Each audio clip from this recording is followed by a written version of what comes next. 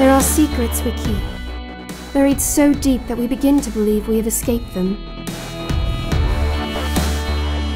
We breathe easy because nobody knows, and then suddenly, they do.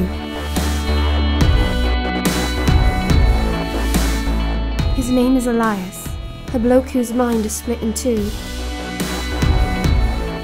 He spends his days wandering through a world he created. I spend mine watching the stars, guiding him through his mythical land. What does Elias search for? I do not know. I only know his tormented mind holds pieces of my secret, and if he unearths my entire past, the life I've created for myself will end.